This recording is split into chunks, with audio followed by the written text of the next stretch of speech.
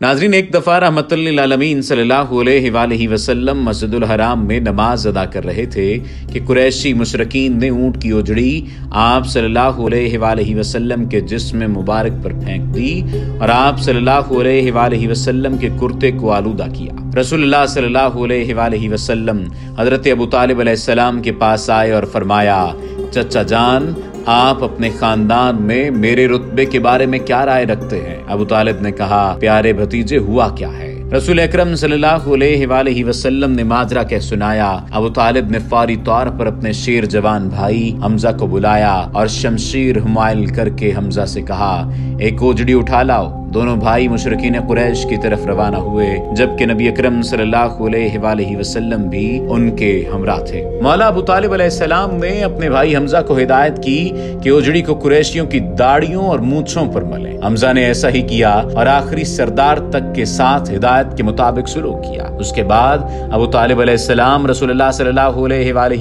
की तरफ़ मुतवज्जे हुए और कहा, जान से प्यारे भतीजे, ये है आपका मकाम और मर्तबा हमारे दरमियान। यूँ कुरैशी मुशरकिन को अपने किए की सजा मिली और कुरैश के सरगनों ने एक दूसरे से कहा कि जब तक अबू तालिब ज़िंदा हैं, रसूलुल्लाह सल्लल्लाहु अलैहि वसल्लम को उसूल हदफ से रोक लेना मुमकिन नहीं।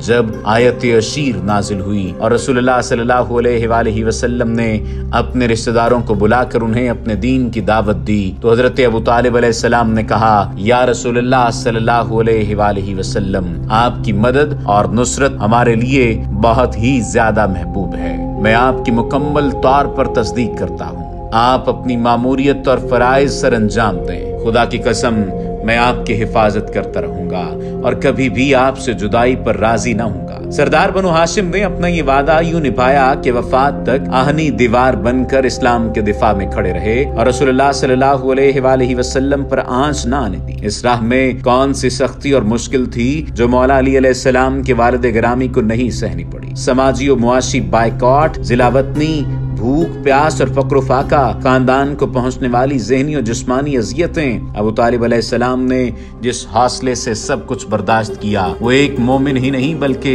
इब्राहिम सलाम के वसी ही का काम था। कुरैश के तमाम मुशरक कबाइल ने एक घाटी में बनु हाशिम को जिला वतन किया और उनकी नाकाबंदी कर दी। इन मुश्किल तरीन हालात में भी सिर्फ़ हज़रत अबू तालिब सलाम थे, जो पैगंबर की हिफाजत करते और रात भर जागते और नबी करीम सल्लल्लाहु अलैहि वसल्लम के सोने के मकाम को तब्दील करके अपने बेटे अली सलाम को आप सल्लल्लाहु अलैहि वसल्लम के बिस्तर पर लिटाया करते, ताकि अगर दुश्मन हमला करना चाहे तो नबी करीम सल्लल्लाहु अलैहि वसल्लम की बजाय अली कुर्बान हो जाए। शोब अबी तालिब सलाम में नाकाबंदी के दौरान जनाब अबू तालिब को शदीद सोबतें झेलना पड़ी और शदीद दबाव और मुश्किल सह लेने की वजह से हज़रत अबू तालिब जिसमानी तौर पर कमज़ोर हो गए। चुनाचे नाकाबंदी के खात्मे के छह महीने बाद बोसत नबवी के दसवें बरस को हज़रत अबू तालिब सलाम वफात पा गए। हज़रत रसोल्ला